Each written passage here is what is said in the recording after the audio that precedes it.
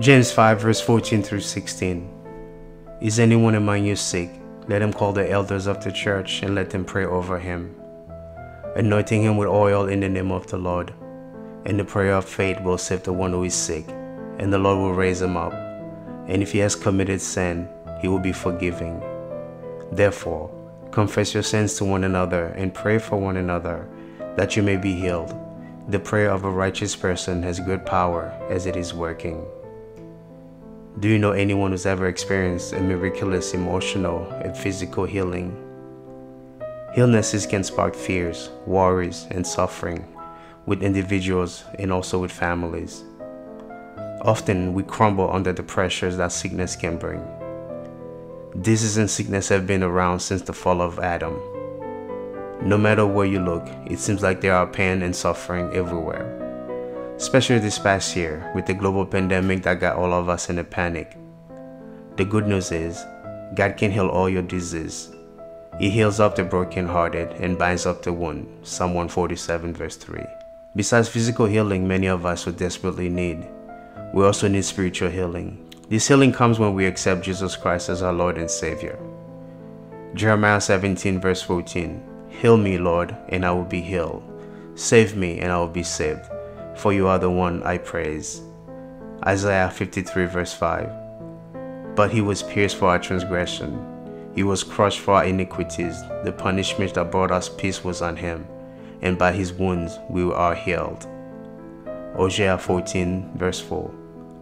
I will heal their backsliding, I will love them freely, for my anger has turned away from him. If you are feeling overwhelmed with health problems, the Word of God can be your source of supernatural help. Do not stop praying. God promises greater things in store, a future filled with promise and hope. Today we are going to spend time focusing on Bible promises about supernatural healing that God offers us every day in His goodness and love through His words. Confess the scripture over your loved ones and yourself. Remember that as you confess them, no weapon formed against you will prosper. Isaiah 54, verse 17. Let's begin. Exodus 15, verse 26. I will put none of the disease on you which I have put on the Egyptians, for I, the Lord, am your healer. Psalms 103, verse 3. Who pardons all your iniquities? Who heals all your disease? Psalm 107, verse 20. He sent his word and healed them and delivered them from their destructions. Isaiah 53, verse 5. But he was pierced for our transgressions, he was crushed for our iniquities. The punishment that brought us peace was on him, and by his wound we are healed. Jeremiah 30, verse 17. For I will restore you to health, and I will heal you of your wounds, declares the Lord. Jeremiah 17, verse 14. Heal me, O Lord, and I will be healed. Save me, and I will be saved, for you are my praise. Proverbs 4 verse 20 to 22. My son, give attention to my words, incline your ear to my sayings. Do not let them depart from your sight. Keep them in the midst of your heart, for they are life to those who find them and health to all their body. Matthew 8 verse 8.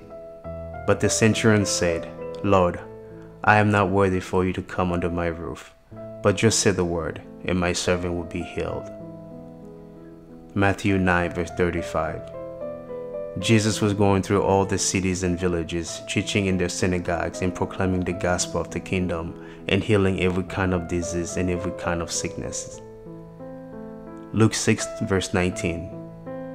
And all the people were trying to touch him, for power was coming from him and healing them all. Hebrews 13, verse 8. Jesus Christ is the same yesterday and today and forever.